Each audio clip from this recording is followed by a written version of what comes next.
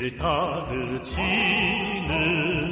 강화 속에는 고향의 편지 받는 저녁도 있네.